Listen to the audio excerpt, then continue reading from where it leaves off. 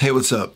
I hit a bit of a crossroads um, here the last couple of days on the daily vlog, the video blog. I hate the word vlog. I was watching the Alabama practice footage that I uploaded, and I was kind of thinking about how they do these drills. Every football team, Alabama, just one example. They do all these drills that a lot of them you look at it and you're like, what does that even have to do with football?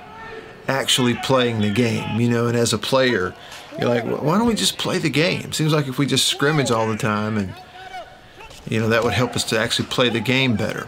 But they just do hours and hours and thousands of reps of these, what look like mundane little drills. Why do they do that? It's because that's how you form habit, right?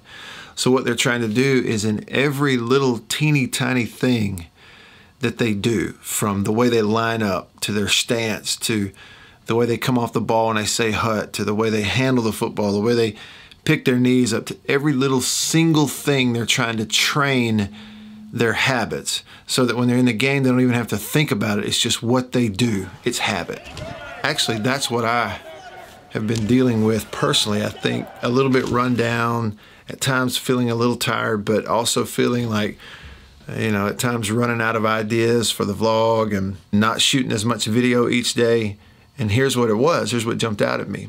I spent months, four or five months, of reprogramming habits, eating habits, workout habits, thinking habits, daily shooting video and uploading habits.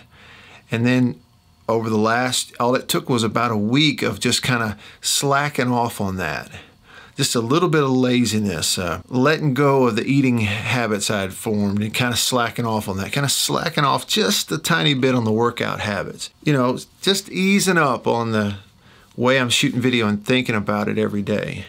And just doing that for a few days really threw me into a sort of a, a mental funk. And so, so I felt like coming here and just sort of expressing on today's vlog because I think it would probably speak to a lot of people how important the habitual part of our life is. Because it can either be good if we understand that and we program our habits and reprogram our habits, but it can also be really bad. The habitual part of our life can be really bad too if we just let it go because then all the bad things become habit and then those habits are hard to break. So it's like the good habits are take longer to form. You have to really try to hang on to them. Bad habits form easily and they're hard to break. Anyway, I know it's a weird kind of uh, conjunction of a couple of things, but same thing on the radio show, feeling just a little bit off in the last few days, even though I was really excited to get some games going.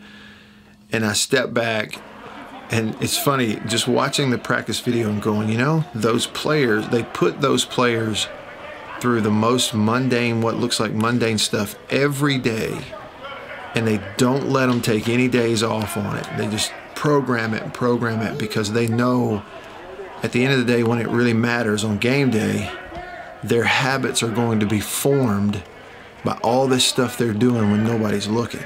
And you know what I thought? I need to approach my same my life that same way.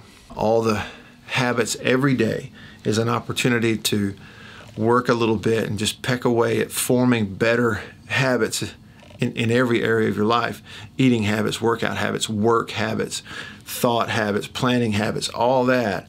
And just, just work on it, the little things every day so then it becomes habitual. And when it really counts, it works better. Does that make any sense?